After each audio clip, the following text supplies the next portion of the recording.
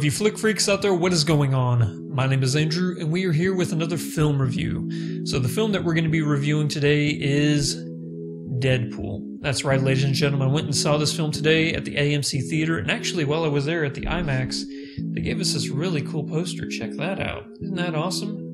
Indeed, it is. So, this movie is actually directed by visual effects uh, artist Tim Miller, who's actually worked on some video games like Mass Effect 2, which he did an amazing job at. And this movie is actually written by Rhett Reese, who gave us the Zombieland films. No surprise, this man is amazing at action comedy films, and he definitely shows in this because this movie was amazing. Literally, as soon as the credits started to when the credits rolled at the end, I could not stop laughing. This movie was hilarious. And it wasn't just crude, vulgar, raunchy humor. Don't get me wrong, there's a lot of that. But there was actually a lot of very smart and intellectual humor in this movie as well. And sometimes you were thinking, I don't see where this joke's going. But then as soon as they get to that payoff and that punchline, you realize that the people who wrote this and the people who worked on it, they knew what they were doing. This is just a funny, funny movie. 99% of the credit has to go to Ryan Reynolds and his performance.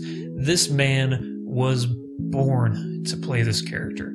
And not only that, but his love, his passion to play this character, you could definitely tell it leading up to this, all the press and the interviews that he was doing. You could just tell by the look on his face how much he loved this character growing up and how badly he wanted to portray Deadpool and to give the best performance that he could. And I think that he more than delivered on that because it was just, I don't think there, literally, I can't think of a single person on the planet who could have done a better job playing Deadpool than Ryan Reynolds.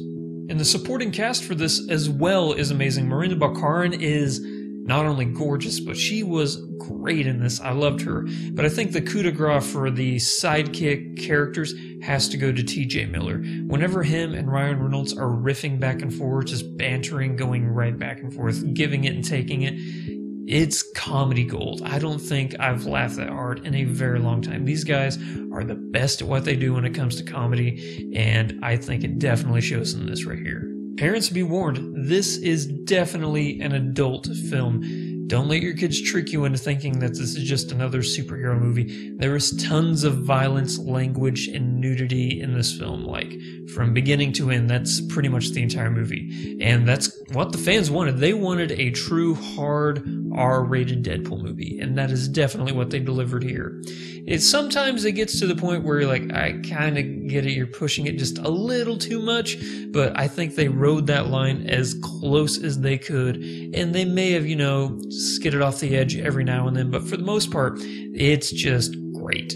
Now, I will say this I highly recommend that you go and see this movie as quickly as possible. And if you can, go and see it in an IMAX theater or a theater that has a ton of seats in it. Because the more people you see this with, I actually do think the better. Because the movie experiencing itself for me was phenomenal. Going in there with just everyone around me being just as big of a fan as I was, nobody judging you, everybody just trying to have the best possible time they could. I think that made the movie going experience just that much more enjoyable. So, like I said, go and see this movie as quickly as you can. Now, I actually do have some critiques and cons for this movie. Uh, for a Deadpool movie, I think that the action, if you're going to do this movie, step it up a notch with the martial arts and the choreography. It was good, but I think it could have been a lot better with the action and martial arts that we've seen in a lot of movies recently, it definitely doesn't stack up to that. I actually think that the fight choreography in Captain America Winter Soldier was a lot better than the fight scenes in this. Now, in this one, they're actually leaning more towards, I think, a comedic approach to fighting and stuff like that. But there were times whenever they were actually going for like a serious martial arts fight, and it just didn't feel like what it could have been as far as that. Another one of my critiques is there's actually two side characters in this that I think were very underused, and they're Colossus and Negasonic Teenage Warhead. These two were amazing, and they did not get enough screen time, I think. In the sequel, which they've already confirmed Deadpool 2, if they do come back, I really do hope that they get a lot more screen time. They're only in this for just a couple scenes, very underused, and there was a lot of wasted potential there, I think.